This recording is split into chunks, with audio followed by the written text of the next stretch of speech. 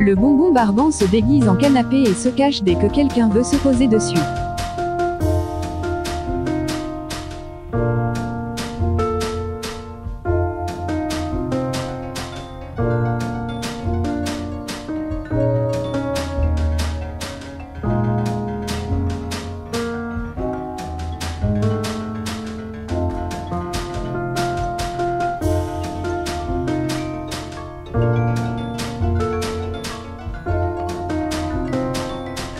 Thank you.